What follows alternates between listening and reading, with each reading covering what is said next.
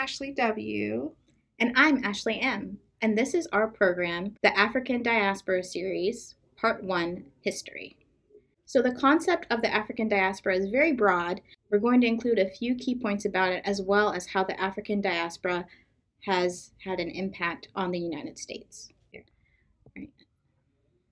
African diaspora encompasses many communities of people of African descent. These communities have dispersed throughout the world due to historical movements and migrations like the transatlantic and Arab or trans Saharan slave trade. These migrations include more than just the U.S. So, why does the history of the African diaspora matter? Because those who do not learn from history are doomed to repeat it. There's a lot of talk about how younger generations don't quote unquote know their history, but there's so much for us to learn, and that's what this program is all about. Africa is not a monolithic society or entity.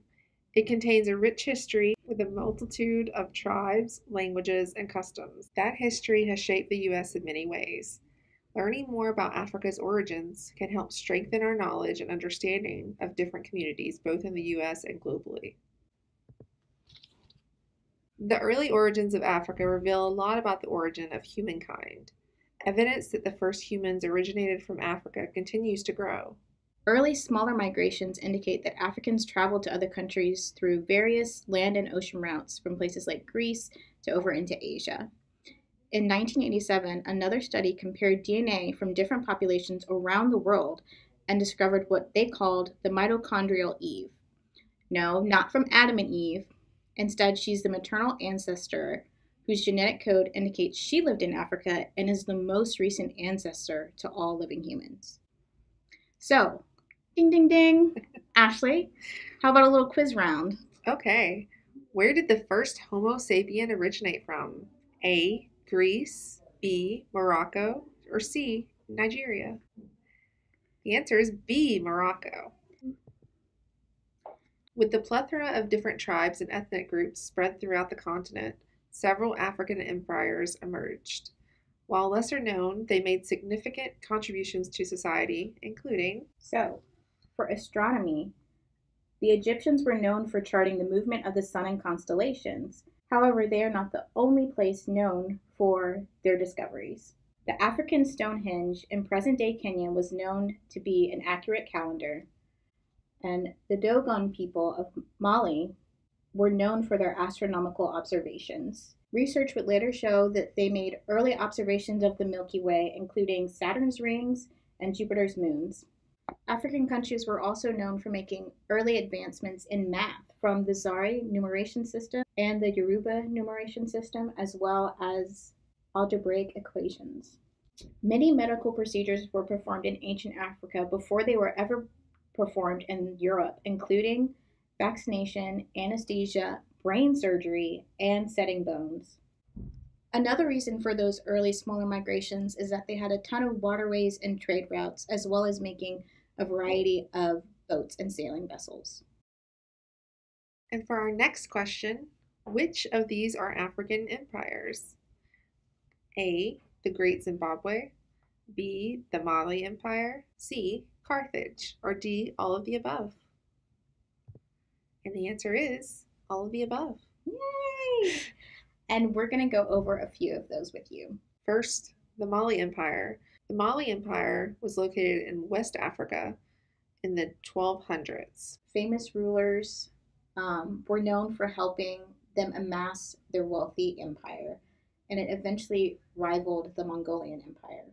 It was home to Timbuktu's University Library, which held over 700,000 manuscripts, as well as the Great Mosque of Timbuktu as well. Carthage was located in North Africa sometime during the 8th century and lasted for over 500 years. It was known as a commercial hub with a protected harbor, and this is where those boats we were talking about came in because they had a lot of commercial routes and boats that they used to get around as well as to do trading. Um, they did extensive trading in golds and other metals. They were also so powerful that they were Rome's rival during the Punic Wars. The Great Zimbabwe was located in Botswana, Zimbabwe, and Mozambique between the 13th and the 15th century. It was an architectural marvel with stone towers and a rock citadel. With a profitable trade route, it also served as the location of several ancient artifacts like Chinese pottery and, and Arabian glass. The rock citadel, in particular, has been the subject of myths and legends, including that it was the residence of the biblical Queen of Sheba. Kingdom of Kush was located in Nubia, now northern Sudan, between 1070 BCE and lasted over 1400 years. Kushites were famous for their female rulers, queens known as Kandakes. There were several notable Kandakes. The first known Kandake reigned with full power and apparently without a king from 170 to 160 BC.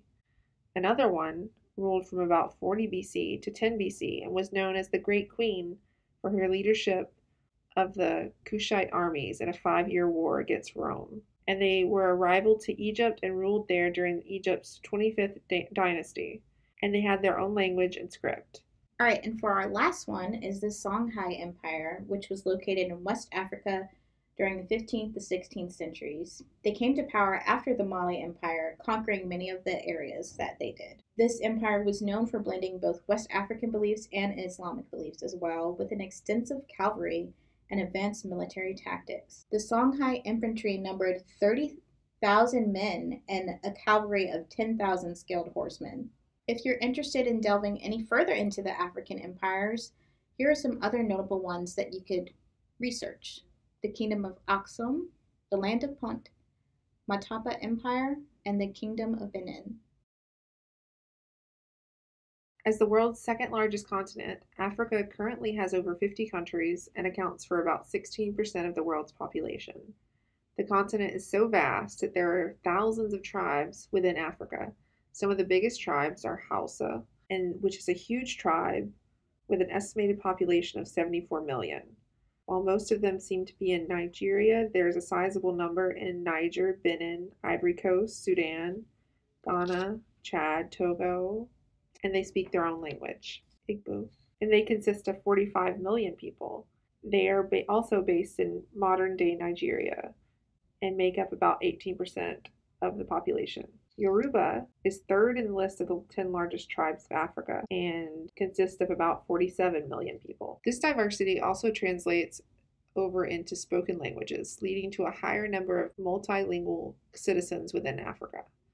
South Africa alone has at least 10 official languages, including English, Afrikaans, and Zulu. These different tribes and groups also had their own special customs.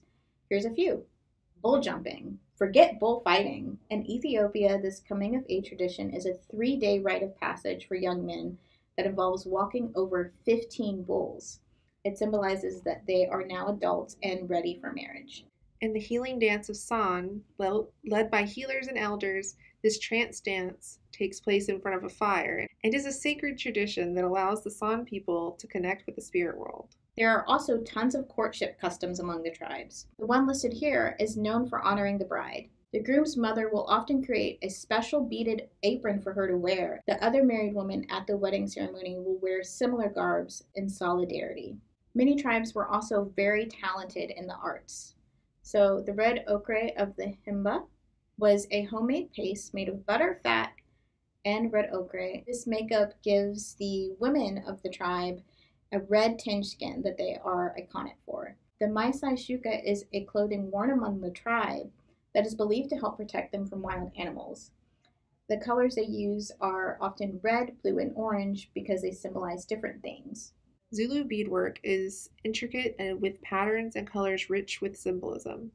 And the Bushman rock artwork date back thousands of years and can be found in caves and rock overhangs all over the country. While there was slave trading in early African societies, the supply and demand for slaves escalated during the period of enlightenment. The boom in societal advancements led to a higher demand of slaves. These slave trades led to massive migrations of Africans to other countries, including Britain, Brazil, Colombia, and India. However, Africans that were sold into slavery were not passive and did lead resistance movements. So, these are a few of the slave revolutions around the world, from the Haitian Revolution, the Zanj Rebellion in pres- what is now present day southern Iraq, the Gasparilla Rebellion in Veracruz, Mexico during Spanish rule, as well as the Baptist War in Jamaica. Meanwhile, in the U.S., the Underground Railroad and abolitionist movement became a driving force in the efforts to free slaves. Can you guess who this person is? This woman was an escaped slave who became a conductor of the Underground Railroad, leading slaves to freedom before the Civil War, all while carrying a bounty on her head. However, she once claimed, I never ran my train off the track and I never lost a passenger. Do you know who she is? She was Harriet Tubman. This is another Guess Who. This person was the leader of the Haitian independence movement during the French Revolution. They are known for helping in the emancipation of the slaves, improving the economic status of the colony, and advocating for it to be governed by former black slaves. Ooh, ooh, I know the answer, Ashley. Can I mm-hmm. answer? Maybe. Let's see who it is. Toussaint Louverture.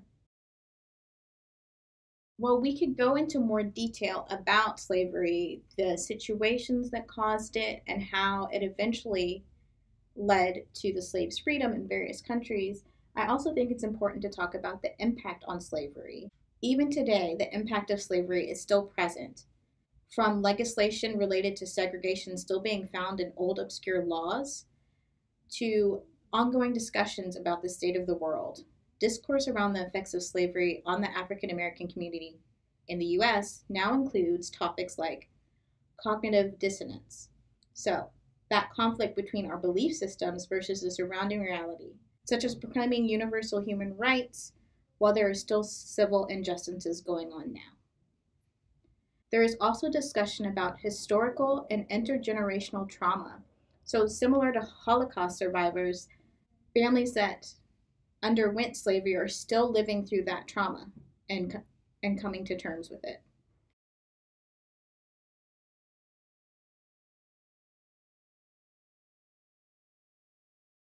So, today, the times of slavery may feel like a distant memory for some, but we would not have made it this far without the fight and progress that people made during the times of slavery, as well as the civil rights movement. Now, you've probably already learned a lot about this in school, and these time periods, but here's a quick recap. Ashley, can you play the highlight reel? Oh, sure. I'd be happy to.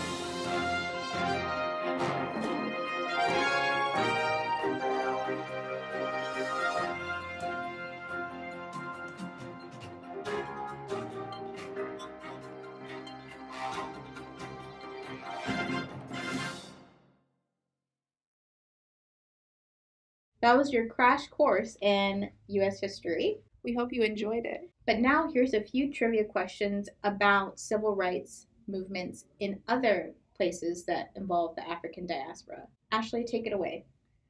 What was the movement to establish independence for African nations called? A.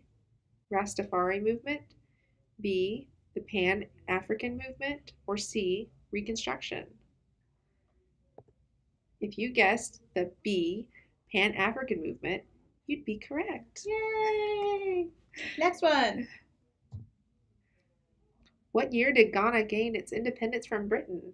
A. 1945, B. 1964, or C. 1957? C. 1957. No, we didn't. One last guess who round. This person was a black nationalist who helped end apartheid in South Africa. In a pivotal speech, he proclaimed, The time comes in the life of any nation when there remain only two choices submit or fight. That time has now come to South Africa. This activist later became the country's first black president. And that is Nelson Mandela.